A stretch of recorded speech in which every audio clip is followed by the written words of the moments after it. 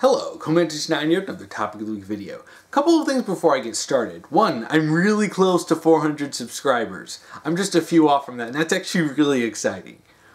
Second of all, I just created a Discord server. The link for that will be down below. I made it so that you can talk about stuff and that I can, you know, talk with people about different things, and you can also submit topics through there. It's the first time I've done something like this, so I'm sort of feeling it out and seeing how it works out. Now on to the actual topic. This week's topic was submitted by YouTube user Allen Knox, and their topic is Character deaths that should have happened. Even though it's not a popular opinion, there are a few I, that I feel needed to stay dead, like Agent Smith from The Matrix. That was just terrible and Slappy for being the main villain again in Goosebumps 2 when there are so many other villains from Goosebumps than Slappy. It's like bringing back Zhao from The Last Airbender and giving him supernatural powers from the underworld. It's just stupid. Funny you bring up Zhao, because I'm going to talk about him in a slightly different capacity. But yeah, I've talked a bit about characters that, you know, the characters that are killed off or characters that die, and how it's stupid, it's terrible, it's bad writing. It, that's usually it's very common. A lot of writers tend to use that for drama or just because they don't know really what to do, so they'll they'll kill off characters. But then there's the inverse characters that should have either stayed dead or should have just outright died. And that's something I don't see as much, but it's still a problem. So there's a few that I thought about and I picked and I wanted to I wanted to discuss. There's a, a few different types of this. Zhao, funny, it's funny talking about Zhao, because Zhao shows up again in Legend of Korra in a really stupid and forced cameo. So, in book one of Avatar The Last Airbender, Zhao dies. He was too arrogant and too self absorbed to accept help from Zuko when Koizilla was going to kill him. Well, with good good reason. So he dies, or well, I mean, he's taken by Koizilla, and you've never see him, never see him again, which is the kid-friendly way of saying he dead. So you would think, all right, he's gone. Then Legend of Korra decides, what if we bring Zhao back? So when they go into the spirit world, they see Zhao mumbling about how he's the Moon Slayer, and oh boy, was that stupid. Okay, we don't need to see Zhao again. It, it, it's something that Legend of Korra did a lot of. It's this stupid pandering fan service. It's not even like good fan service. Like Suki, bringing in Suki multiple times in the show was in Avatar: The Last Airbender was good fan service. Having her join the main team was good fan service. Suki was really popular, so they kept bringing her back. It made her more important. But they managed to make that a part of the story. And in fact, her coming back and actually dating Sokka had one of the best like arcs in their development, particularly um, Sokka and how he was affected by the death of Yue. It was all very interesting and very well handled. Now, just bringing back Zhao and plopping him in for a short cameo, it was stupid. It just, he's a character who should just be gone. Look, his fate was kind of ambiguous on what exactly happened. Did they just straight up dead him? Does he drag to the spirit world to suffer forever? Well, they confirmed that in Legend of Korra. And they didn't have to. It's it's one of those things. It's just like it's like Darth Plagueis in the Star Wars prequels. It's something that you leave to the imagination because it's so much more interesting than just spelling it all out. It's like no, we didn't need to see Zhao again. And yes, he's technically dead. It's complicated, but he's still there, and they bring him back, and it's like okay, we didn't need to. We didn't need to see that. next one to talk about is Agent Smith.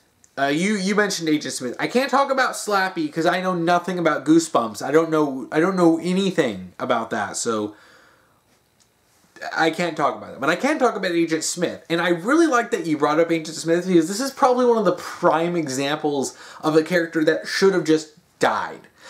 This is one of my number one examples. Agent Smith was a great antagonist in the first Matrix movie he was great. I loved him in that movie. He, he should have just died. Look, Neo kills him at the end of the movie. That was the conclusion of their conflict. And it was a nice way of him finally turning the tables on Agent Smith when once Neo realizes I'm in a digital world.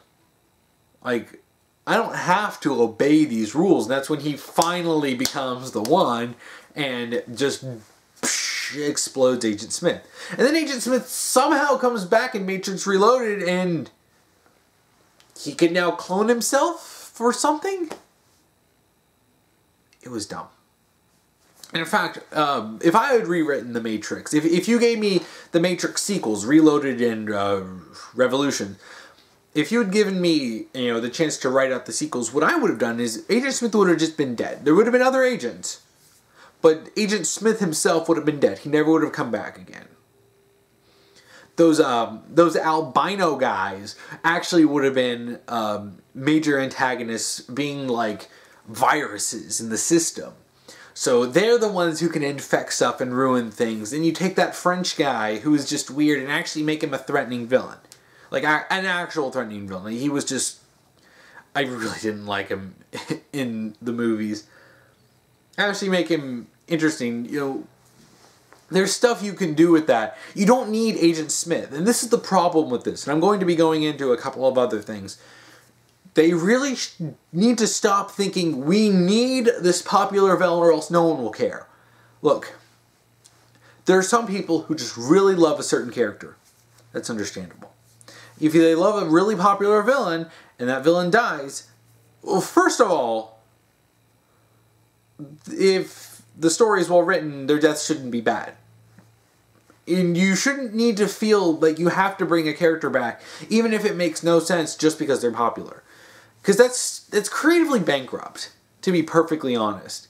And it just feels like you don't know what you're doing, so instead of trying to do something creative, you just default to, let's bring back a popular character even though it makes no sense you could have had an interesting story going into the Matrix sequels. I kind of feel like Matrix is a good movie by itself and you don't need sequels. And I feel like we would have been better off if we just didn't get the sequels. But if we're going to have sequels, they should have been better written. And they invented other antagonists. Do something with that instead of bringing in Agent Smith. It's like, yes, there's some cool scenes, but a few scenes and an otherwise really bad story where Agent Smith coming back is a huge part of the story not working very well, yeah, I, I can sacrifice those for a better story. Now, let me talk a little bit about RWBY. Okay, so there are characters that should have died. There are characters that should not have died, and I've talked a bit about that before. But there's one character in particular that I really want to pick out as having should have died, and frankly, multiple times, is Cinder. Okay, Cinder was initially the primary antagonist from the first mm, two to three volumes. Yeah, the first three volumes. After that, she's basically responsible for some of the, the deaths of some of the best characters in the franchise. And she seemingly dies. Or something. And she comes back. Darn. But then in volume 5, right when she thinks she's going to have her big fight with Ruby, she fights Yang for some reason and then kind of screws off and fights Raven because why build up conflict between two characters when you could just ignore it? Why why fulfill the promises? You know, it's something RWBY specializes in. Completely wasting plot lines. And Volume 6 was excellent at that. But in the end of Volume 5, Cinder seems like she's frozen, thrown down this chasm, and she's going to be dead. Alright, fine. Okay, we're tired of her. She's a boring character. She's been boring. They didn't do anything to make her not boring. She's the personality of a freaking cinder block, and she has no character. She's also, her acting's really mediocre because of her actress Jessica Negri. There's really nothing going for her. And then they bring her back in volume 6. Why? I genuinely don't know. In fact, I don't even think Cinder is that popular, especially compared to basically every other villain. Even the crappy Volume 4 villains like Hazel Watson, Tyrian, and Salem. Oh dear, why do they bring her back? Yeah, this, this is a case of they really want to make Cinder a major player. And they, they did that in the first couple volumes. It didn't really work. In fact, I've always said that the worst scenes in Volume 2 were all of Cinder's scenes. Anytime Cinder's on screen, the quality drops. And when she's gone, the quality of Volume 2 is really pretty good. To good to actually great. And then when Cinder comes in, it's just like, ugh. So, but then they really wanted to make her important. And in Volume 3, she is the antagonist. Like, two, like, the major antagonist. Okay, she basically wins and destroys everyone, and the only reason she loses is because Ruby pulled out a Deus Ex Machina out of literally nowhere. Okay, so is she dead? No. Alright, so you're gonna build up her conflict and hatred of Ruby. Alright, good. Alright, so that's something interesting. Her failure and her burning hatred for Ruby. Alright. And then they waste that. And then it seems like they kill her off. And then they bring her back. Okay, we're just gonna do this whole rigmarole again. Just let her die. Just let her die. She should stay dead.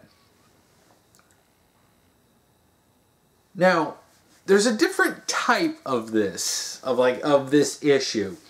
And this is when a character is actually dead, but the writers keep bringing them back in other ways and because it's clear that they either don't know what to do without them or they're so you know desperate to cling on to that character's popularity that that they think it would be wrong to not have them stay around.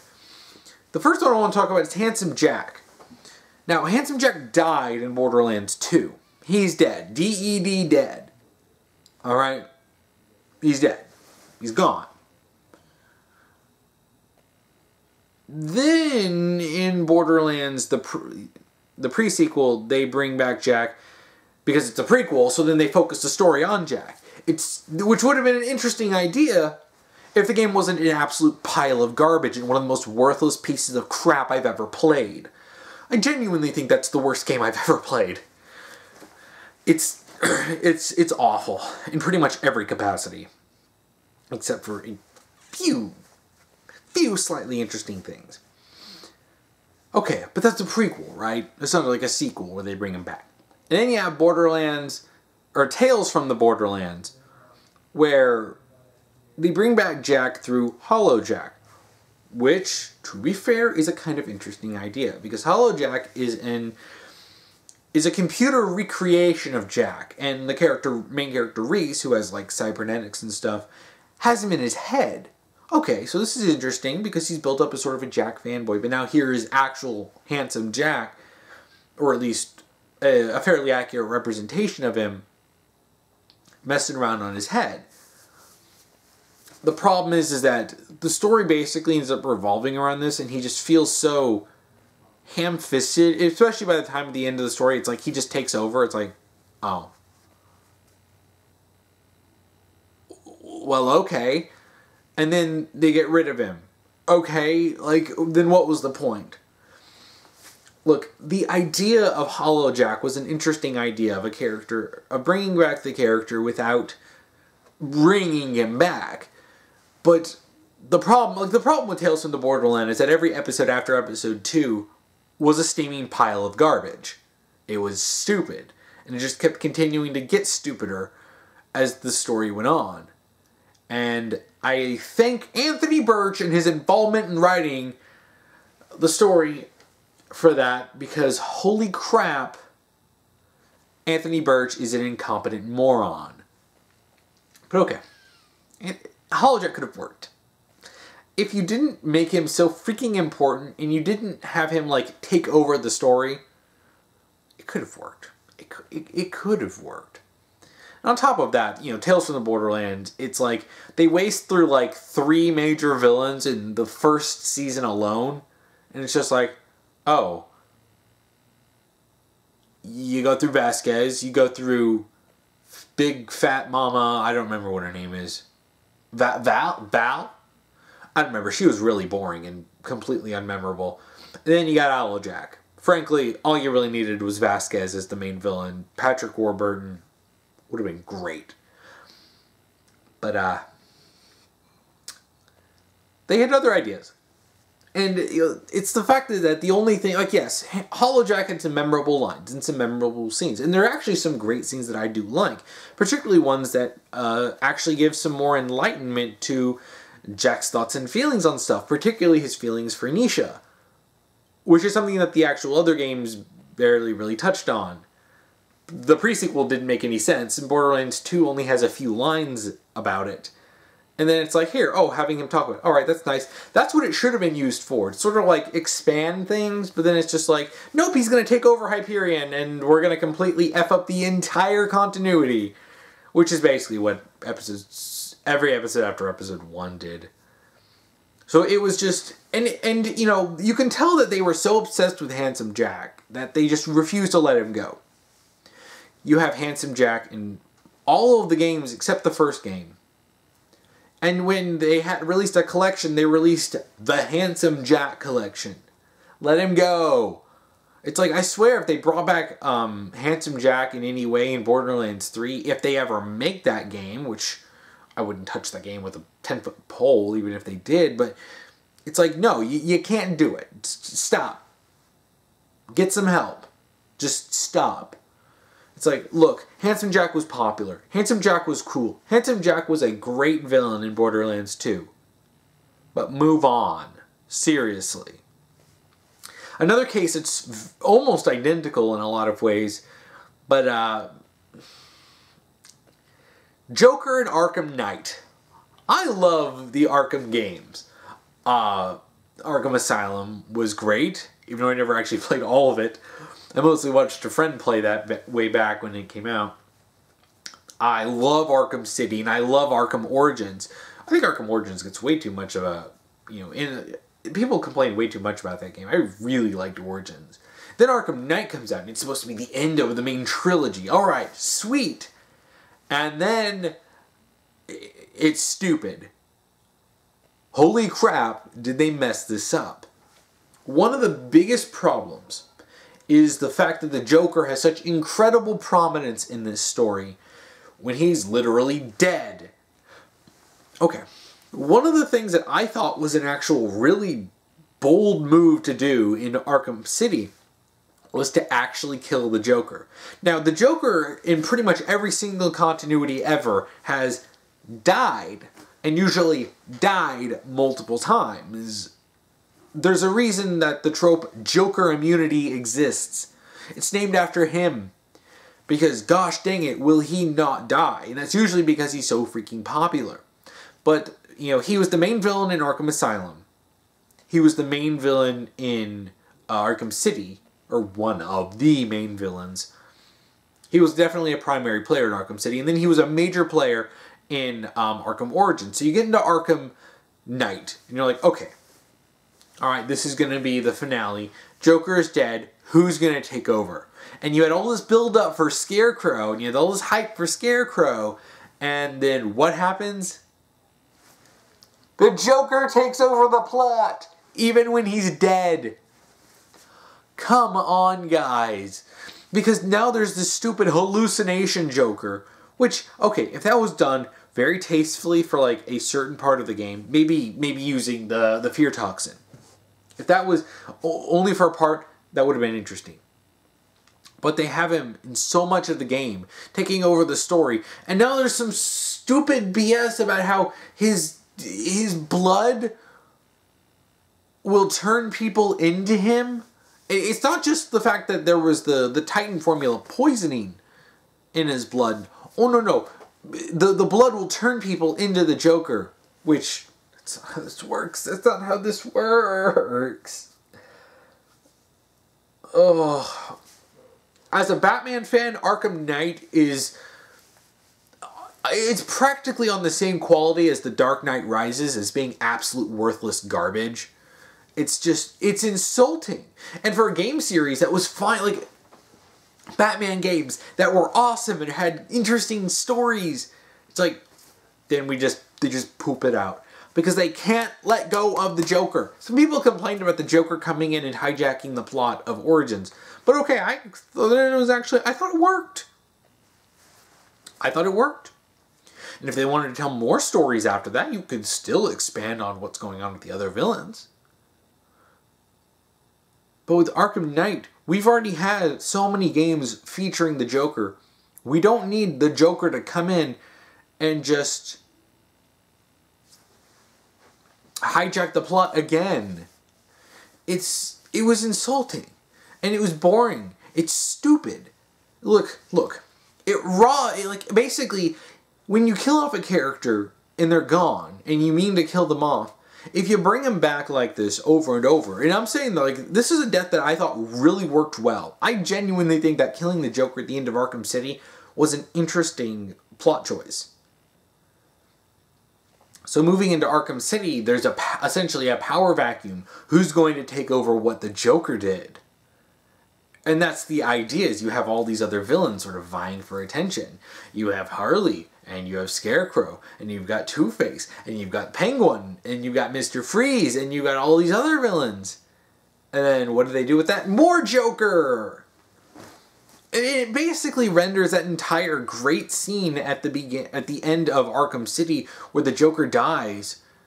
It just renders that almost you know unnecessary. It, it, makes it robs that scene of any of the emotions that it had because now Joker is just still basically walking around. He's just in Batman's head, and you know, you people can turn into Jokers now. I've seen stupid comic book plots, this this is terrible. And frankly, there was a great scene at the beginning of, of, of Arkham Knight that I thought really worked well because it shows the Joker's corpse and you have to press a button to activate to cremate the body. That I thought was really interesting. When I realized I had to push that button, I was like, "Oh, wow, by Joker, wow." And then okay, you you you ruined it. I mean, granted, they ruined a lot with that, but oh boy, yeah, those are those are two examples that are a little different than normal. But the last one I really oh no, there's a couple more I wanted to talk about actually. One I wanted to talk about Captain Hook. Captain Hook in Once Upon a Time, actually, very specifically. He should have died. Frankly, he shouldn't have lasted as long as he did. But okay, alright. I've, already talked about issues going on with Captain Hook before, and I was talking about the anti-heroes, and how he was a failed anti-hero. Captain Hook should have died, and I honestly think he probably should have died in either, like, probably season three. Look, there are two ways I think you really could have taken a death with him. First of all, maybe he wants to redeem himself. Maybe he starts realizing that what he's done was terrible. Maybe he realizes he's become so consumed with revenge that he has become the very monster he sought to fight, even though he was already a monster. But okay, all right. You know, let's go with that. And then he dies a redemption death. Maybe maybe saving Rumpelstiltskin. Maybe saving Baelfire, because he's also a victim in what Hook did. Maybe he could have died for Neal. Could have been an interesting idea. Or you could have taken it in a way that he was so consumed by his revenge that in his attempt to get back at Rumpelstiltskin, he just gets himself killed.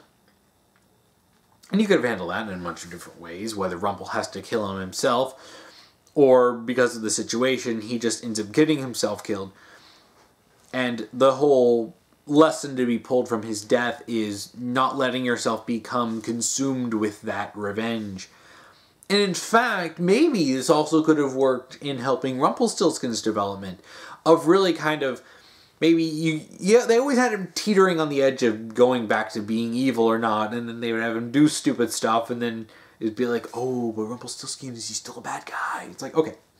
You could have had Hook being just bad to the bone and desperately trying to get revenge at the cost of everyone else. You continue that plot thread and then he gets himself killed for it and then Rumpelstiltskin sees that death and he realizes that if he really, if he doesn't like wise the hell up and stop, that that's going to be him. He's going to lose everything he cared about. He's going to lose every person that even remotely cared about him or that he cared about.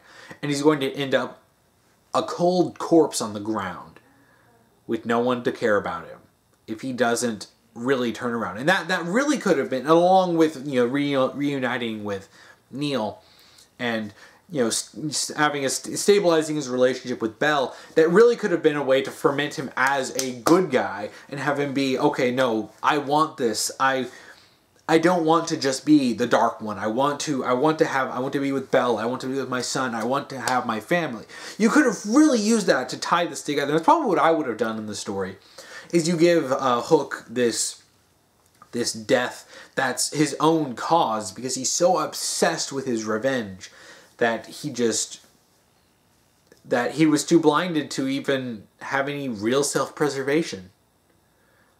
It could have been an interesting way, and it, I honestly think it would have been a nice way to, you know, kill off Captain Hook in a way that made sense with his character, dropping all of the faux anti-hero bullcrap.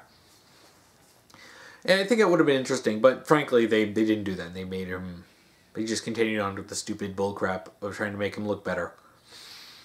Sigh. Now, the last one I want to talk about Finn in The Last Jedi. Okay, okay. The Last Jedi is worthless garbage. I think we can all agree on that. But there was one scene at the end where Finn was going to sacrifice himself to destroy the cannon to stop it from blasting through to the resistance. And I know I'm not the only one who thought this, but the idea that Finn was going to heroically sacrifice himself and save everyone and become that hero especially if you're trying to dredge up the whole plot line the character arc of him not running away or or fighting what he hates look if you want to have that stuff they could have had him die. And frankly, this is the old that that was something that I might have actually given Rian Johnson a little bit of credit for. As much as I don't want Finn to die, because in a better written sequel trilogy, I think Finn would have made a great character to develop over the course of the trilogy. But in the movie of The Last Jedi, where everything is stupid and nothing makes sense, if Finn sacrificed himself, he destroyed it. He went all um, what was his name from Independence Day and was just like, I'm back! And destroyed the cannon. Saved everyone, sacrificing himself. I think that might have actually genuinely been a halfway decent thing. It would have had Finn showing true bravery, and it would have it would have given the movie a little bit of weight because the movie robs itself of any real tension and weight basically every five seconds because it doesn't really know what it's doing. But that one scene and the build up and as Finn's driving in and you know and it's just the you know everyone's telling him to come back and his little uh, skiff hovercraft whatever thing is flying towards it and it's falling apart and he's about to get there and then it could have had meaning before Rose just and knocks him out of the way and probably could have killed them both it's it would have been something interesting. And I'm not saying that because Finn dying would be inherently interesting. I'm just saying that if Finn actually did that and he genuinely tried to make that sacrifice in a movie where everything else is terrible, we could have had at least at least one poignant scene. Everything else was trash, but we could have had one meaningful scene. And yes, if I was writing the movies, I wouldn't kill Finn off. Of course not. I'd have him develop through the course of this of the trilogy. I'd I'd bring in Kyle Katarn from the EU and have Kyle an older Kyle Katarn mentor Finn as someone who was also a stormtrooper. There's plenty of stuff I would have done, but you know, if we're talking about just the Last Jedi as it is,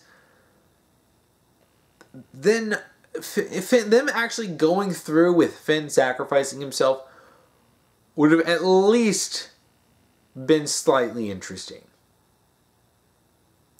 So yeah, that's about it for this topic. You can definitely comment below with other characters that you think should have died because there is a ton of them and I, I didn't even touch on a fraction of them and I just because I knew if that I kept going it would be going way too long. But yeah, so, if you want to submit a topic to me, you can either comment below if you're on YouTube, you, or if you're on Tumblr, you can send me an ask of a topic colon and whatever topic you want me to talk about. Or you can also send it through my Discord, and I have a little channel that's just for topic submissions. So you can try that out too. The link for my Discord is, again, down below. If you want to watch last week's topic video, you can check that out here. If you want to watch next week's topic video, you can check that out here when I get that done. So, Thank you for watching.